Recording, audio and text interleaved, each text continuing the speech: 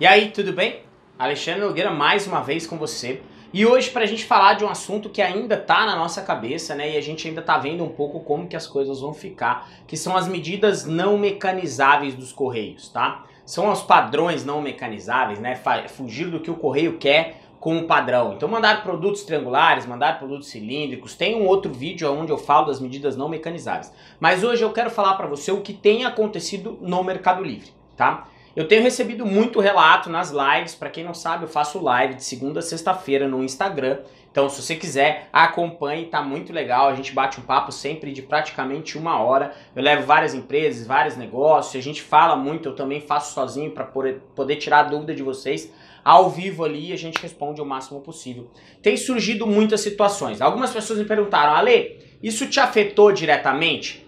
A maioria dos meus produtos que que passam de 70 centímetros, por exemplo, eles já não estavam no mercado envios, ok? Eles já não tinham mais a categoria de mercado envios. Então acabou não me afetando, tá? O que o Mercado Livre tem feito pelos relatos que a gente tem recebido aí de todo mundo, tá certo?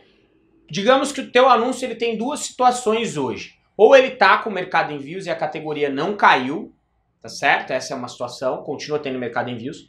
Ou ela perdeu o mercado envios a categoria em si todo mundo perdeu, porque na medida média lá eles chegaram à conclusão de que ia passar, ia dar problema, eles iam ficar pagando taxa mecaniza é, de produto não mecanizável de R$ reais e não ia ser interessante para o Mercado Livre, eles cortaram, tá certo? Mas, hoje, se você tem um produto que não está pagando a taxa do mecanizável é, ainda, você não vendeu nenhum, aí você vai e faz uma venda e ele passa de 70 centímetros ativando a taxa não mecanizável no correio ele, ele tem uma medida triangular, cilíndrico e fugiu dos padrões e caiu na medida não mecanizável, muitos anúncios estão perdendo os anúncios o mercado envios. Então o que eu recomendo, se você tem um produto triangular, começa a pensar de uma forma de mandar ele quadrado, retangular, nem que seja você comprar uma outra caixa e colocar o teu produto lá dentro da caixa triangular dele colocar a caixa triangular dentro de uma caixa retangular ou uma caixa quadrada para poder mandar. Teu produto cilíndrico, a mesma coisa, tá bom? Ale, mas o produto de 70 centímetros, dependendo do produto, você vai organizar ele de forma diferente, vai tentar fazer ele caber dentro de 70 centímetros. Se você não conseguir, fatalmente você vai acabar, na situação atual, perdendo o mercado envios no seu anúncio, tá? O que acontece, Ale, se eu perder o mercado envios hoje dentro do meu anúncio? Se a categoria inteira perde mercado envios, não tem tanta questão de relevância a perder no Mercado Livre. Acabam perdendo vendas porque a pessoa perde o impulso da compra. Ela tem que te perguntar o frete, ou você pode configurar ali uma tabela de frete para ele já saber quanto que é o frete, fazer essa compra e pagar esse frete, tá? Então isso pode acabar gerando problema. O que eu recomendo nesse caso, tentar praticar frete grátis para pelo menos para as regiões onde você mais vende. Entrar em contato com várias transportadoras, tentar embutir esse custo no valor do teu produto, para que você tenha frete grátis pelo menos nas regiões que você mais vende. Tá bom? É, não é o ideal? Não é o ideal. Isso é uma, é uma sugestão para você estudar para o teu negócio, tá? Agora, uma outra situação que pode acontecer. Ale, se eu vender um livro desse, ele vai tranquilamente e dá como produto mecanizável. Agora, se eu vender 300, por exemplo, talvez ficasse uma caixa monstra.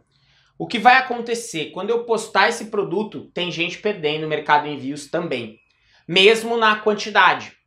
Então, o que eu recomendo é que ou você use um limitador, como o MD Livre tem, você limita a quantidade a ser vendida daquele anúncio, no plano de 40 mango dele já entra isso, tá?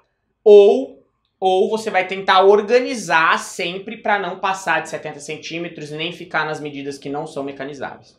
Tá certo? Então, isso é o que tem acontecido.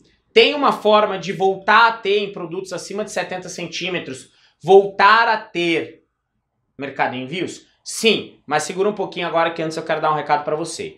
Dia 26 e 27 de outubro, eu Alexandre Nogueira, Alex Moro e Gilmar Teobaldi estaremos organizando o nosso evento Profissão E-Commerce. Provavelmente você já viu a gente falando sobre isso. Será, no nosso ver, o maior evento organizado por vendedores Somando todas as nossas audiências, elas são as maiores audiências quando a gente fala de marketplace. E a nossa ideia é fazer um evento mágico para você que nos acompanha. Então vão ser 21 palestras, tá? A gente vai ter palestras sobre loja virtual, sobre marketplace, sobre anúncio, sobre importação, sobre planejamento, sobre dropship. Então a gente já tem Marcelo Paiva do Vendecia confirmado para palestrar com a gente. O cara é diretor da Becom, o cara, meu, fera demais, demais, demais, tá? A gente tem já é, profissional financeiro para falar sobre planejamento financeiro. A gente já tem advogado para falar sobre como se prevenir de processos e situações. A gente vai falar de importação, como eu falei para você. Vamos falar de planejamento, vamos falar de técnicas para se diferenciar. Diegão da Your Commerce vai falar sobre Facebook, é, anúncio de Facebook. Você vai sair de lá sabendo criar um anúncio de Facebook. Geisa Alves vai falar sobre vendas no Instagram, um baita canal poderosíssimo de ativação. E além disso, a gente vai ter uma área com 36 stands para você. É isso mesmo. Serão 36 expositores, entre eles marketplace, é, hubs, ferramentas, ERPs, diversas empresas estarão lá para falar contigo para que você tenha acesso a elas, tá certo? Então aproveita, aqui embaixo tem o link do nosso evento e todas as quintas-feiras nós estamos fazendo no profissãoecommerce.com.br barra live, tá? Hangouts ao vivo, tá certo? Então toda quinta tem um Hangout ao vivo diferente para você participar e interagir com a gente, tá? Então voltando aqui, qual é a forma de um produto que tem mais que 70 centímetros, a, a categoria perdeu o mercado envios, eu voltar a ter mercado envios? Se você recebeu o convite do Coleta, aceite o convite do Coleta, você vai voltar a ter mercado envios. Se você não recebeu ainda, vai lá, se candidata. Eu, particularmente, se os meus produtos fossem afetados, meu faturamento começasse a cair, eu aceitaria isso, aderiria numa boa e tranquilamente. Aí aqui eu não tô falando sobre nota, não tô falando sobre nada, gente. Se você quer ver sobre nota, vai lá no meu vídeo de nota fiscal, tem 20 minutos o vídeo. Assiste inteiro para não falar abobrinha depois. Então assiste o vídeo, tá? Se você quer falar sobre medida não mecanizável, xingar o correio, tem lá. Tem um vídeo só sobre medida não mecanizável. Hoje eu estou falando do que está acontecendo no Mercado Livre quando a gente fala de medida não mecanizável. Tá certo? Então, tomem cuidado. Se vocês puderem, o Gil, por exemplo, tirou a rodinha das rodas que ele vende, da, das malas que ele vende e está mandando sem a rodinha para ele poder ficar dentro dos 70 centímetros.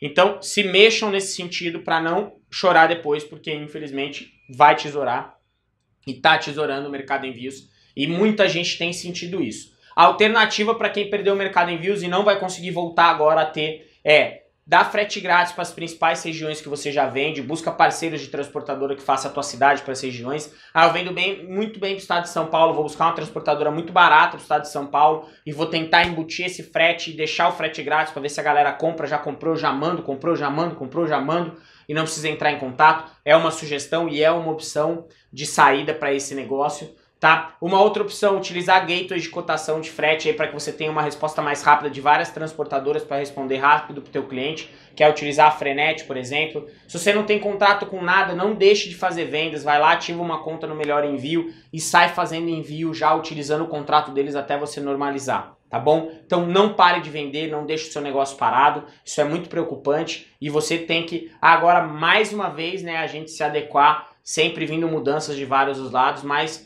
Empreender nunca, é, na verdade eu falar nunca foi fácil e nunca será fácil, tá? A gente falando principalmente num país de tantas mudanças aí que acontecem. Tá bom? Então, se você gostou, dá o seu like aqui embaixo, isso me ajuda muito, é muito bacana. O YouTube também entende que você quer receber os meus próximos conteúdos. Se inscreve aqui no canal, tamo junto, conta comigo, um grande abraço e até a próxima. E aí, nosso vídeo acabou, mas ele ainda não acabou. Eu tenho bastante conteúdo no canal, eu tenho bastante conteúdo indicado para você. Então ele vai aparecer aqui, ou vai aparecer aqui, ou vai aparecer aqui e aqui, mas assista os vídeos que eu estou te indicando, tá certo? São conteúdos relevantes para você ou são conteúdos que têm a ver com o vídeo que você acabou de assistir.